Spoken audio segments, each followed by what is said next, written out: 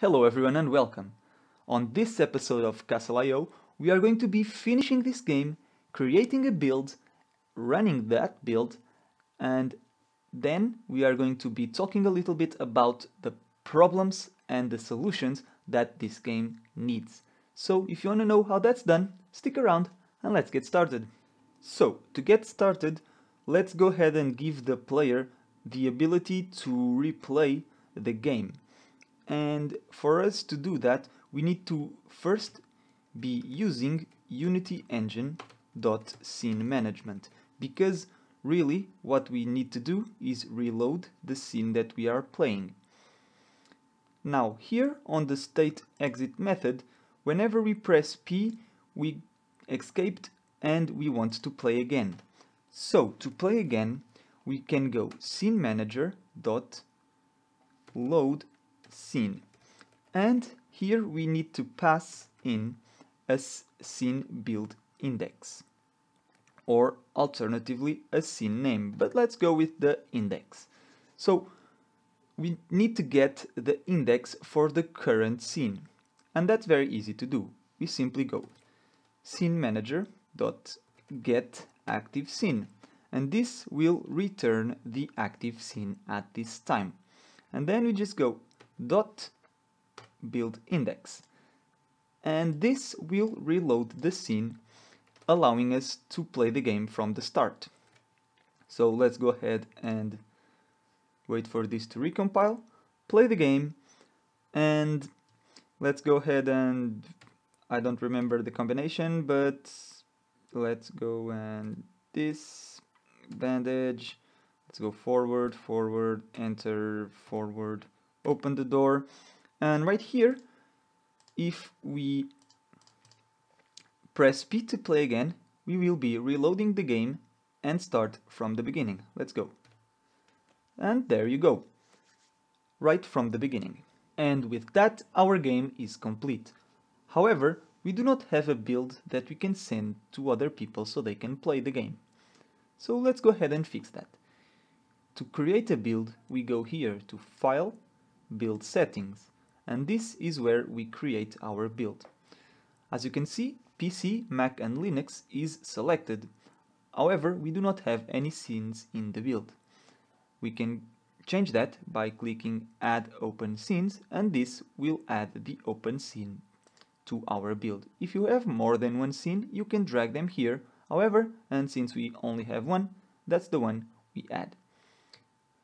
We can then choose the target platform, in my case Windows, and the architecture, in this case will be 86 and 64.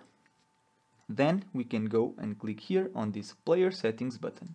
This will open a new window and this window is where you can change all the settings regarding to your game. So let's go ahead and change the company name to Stereo PT and we leave the product name as Castle.io if you have an icon, you can go ahead and choose it here. And there are countless others settings that you can change regarding to resolution and icons and splash images and other settings. You can go ahead and check those.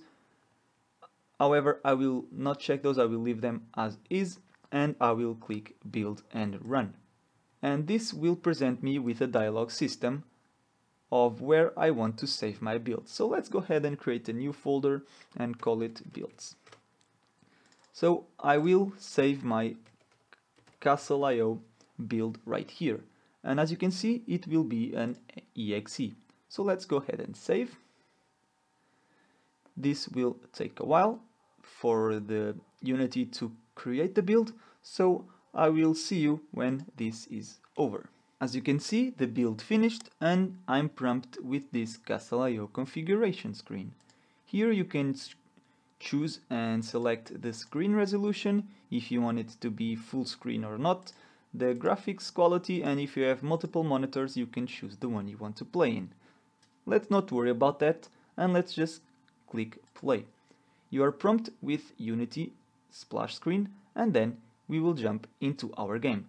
And as you can see, this is full screen game that we made in the editor. So, Now let's talk a little bit about problems and solutions for this game. For those interested in playing this game, I will provide you with a download link in the description down below that will take you to my Google Drive and there is where you will find a build for this game.